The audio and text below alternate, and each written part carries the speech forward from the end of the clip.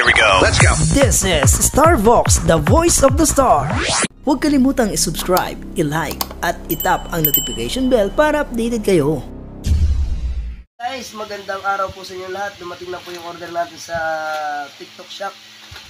Ah, ang career niya ay JNT. Sabi dito, no video, no return, no refund. Kaya kailangan nating videohan kung ano ba talaga yung, ah, kung tama ba talaga yung order natin sa TikTok Shop. Ito po, ang katunayan, wala pang bukas yan. Yan. Galing ito sa ah uh, sino, sino seller nito?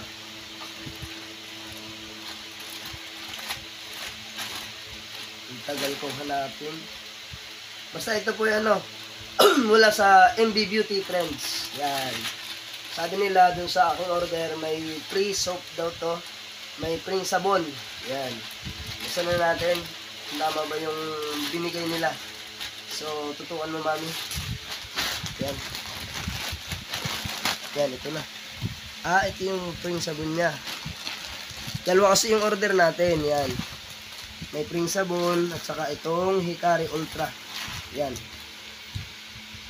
Siyempre, titingnan natin kung tama ba ang laman ito. Baka tayo mabudol laang. So, double check natin.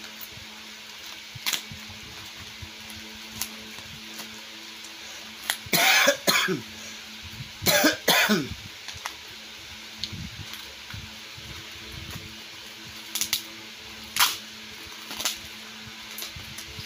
may mga gagamit na tayong panghilamos.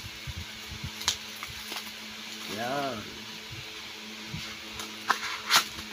Ito siya, Hikari Ultra. Isa. Ang laman niya ay baka kulay asul ang laman ito.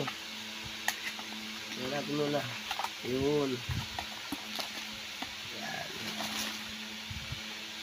Tama naman.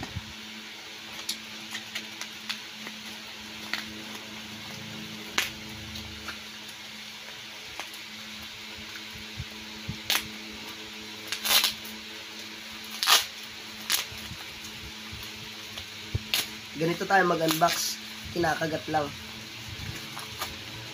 yan ito pa yung, yung pangalawang orton ano natin pangalawang bote. Check natin kung ang laman ay tama. So may gagamitin na tayo good for one month. Yan. Carry Ultra yan.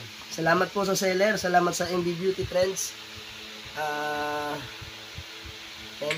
Salamat sa MB Beauty Trends at salamat po sa Pring Sabon na pampaputi din siguro ito. Re restore nyo and fresh. Mukhang masarap, masarap sa mukha. So, siguro sa katawan, sa mukha o sa balat. Tingnan natin kung ano magiging epekto nito. Salamat po!